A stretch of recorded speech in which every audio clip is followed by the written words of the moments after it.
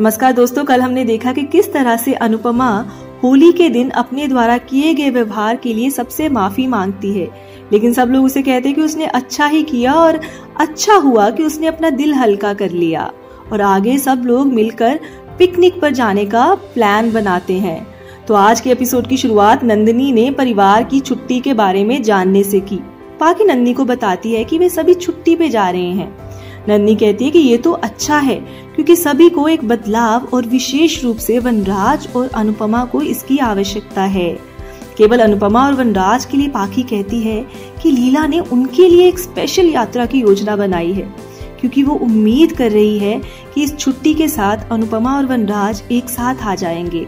उसने ये भी कहा कि लीला अभी भी उम्मीद कर रही है कि वनराज और अनुपमा तलाक का विचार भी छोड़ देंगे। काव्या पाखी की पूरी बात को अनसुना कर देती है, लेकिन पिकनिक के बारे में जान लेती है। वो नंदनी से पिकनिक के बारे में पूछती है। नंदनी काव्या को विस्तार देने से इनकार कर देती है। काव्या को लगता है कि वो शाह पर भरोसा नहीं कर सकती, क्योंकि वो उसे वनराज से अलग करने की कोशिश कर रहे हैं। वहाँ राखी काव्या की बात को याद करती है और चिंता करती है कि अगर काव्या किंजल की सास बन गई तो क्या हो जाएगा? वो कहती है कि अनुपमा किंजल का काम करती है और उसे बेटी की तरह प्यार भी करती है। राखी ने लीला को बुलाया और काव्या के बारे में चर्चा की। वो लीला के साथ अपनी चिंता साझा करती है और कहती है कि काव्या, घर तोड़ने के लिए कुछ भी कर सकती है। लीला आगे कहती है कि वो ऐसा कभी नहीं होने देगी। दूसरी तरफ़, काव्या ने पिकनिक के बारे में वनराज से पूछा। वनराज कहते हैं कि लीला और हसमुख उसे छुट्टी पर जाने की मांग कर रहे हैं। और वो कहता है कि वो लीला और हसमुख को परेशान नहीं कर सकता। काव्या वनराज से कहती है कि तलाक होने तक वो कुछ भी कर सकता है, लेकिन उसके बाद वो उसे कुछ भी नहीं करने देगी।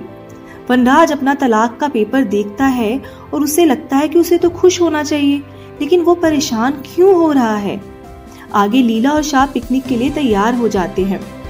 लीला और पाखी वनराज और अनुपमा के लिए भगवान से प्रार्थना करते हैं। वो भगवान से अनुपमा और वनराज को हमेशा साथ रखने के लिए कहते हैं। पाकी छुट्टी पर जाने के लिए उत्साहित हो जाती है। लीला अनुपमा को लेकर आती है। अनुपमा ने सूट और सलवार पहनकर रखा हुआ है। इसीलिए वो थोड़ी शर्म महसूस करती है। लीला और हसमुख अनुपमा से पूछते हैं कि वो इतना क्यों शर्मा रही है और अनुपमा लीला के पीछे छिप जाती है। अनुपमा को देखकर वनराज मुस्कुरा उठता है।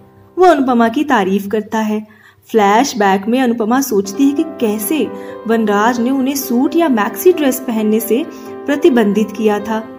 अनुपमा वनराज से पूछती है कि वो पहले तो इसे पसंद नहीं करता था, जब वो सूट और सलवार पहनने के लिए उससे आग्रह करती थी। वनराज अनुपमा को जवाब देते हुए कहते हैं कि समय के साथ लोग भी बदल जाते हैं। आगे लीला और पाखी वनराज और अनुपमा को बाइक पर जाने के लिए कहते हैं। अनुपमा और वनराज थोड़ा झिझकते हैं, लेकिन जब लीला ज़ोर देती है तो वनराज अनुपमा को बाइक पर ले जाने के लिए तैयार हो जाते हैं। एक बाइक पर वनराज और अनुपमा को देखकर काव्या हैरान रह जाती है। इसी बीच में पाखी कार पंचर कर देती है ताकि उन्हें पिकनिक स्थल पर पहुँचने में देर हो जाए। अनुपमा और लीला के बारे में सोचकर लीला और पाखी खुश हो जाते हैं। बाद में अनुपमा और वनराज अपने सुनहरे पुराने दिनों को याद करते हैं। वनराज ने अनुपमा से उसे कस के पकड़ने के लिए कहा। काव्या अनुपमा और वनराज को फ़ोन करने की कोशिश करती है, लेकिन उन तक नहीं पहुँच पाती। वो निष्कर्ष निकालती है कि वनराज उससे बचने की कोशिश कर रहा है और इसी के साथ हमारा आज का एपिसोड खत्म हो जाता है। दोस्तों, अगर आप चाहते हैं कि ऐसी अपडेशन लगातार आपको मिलती रहे तो आप हमारे यूट्यूब चैनल दैनिक उजाला को ज़रूर लाइक और सब्सक्राइब करें। और अगर आप चाहें तो हमें फेसबुक पे भी फॉलो कर सकते हैं। आज के लिए केवल इतना ही। आप जुड़े रहिए हमारे साथ और देखते रहिए दैनिक उजाला।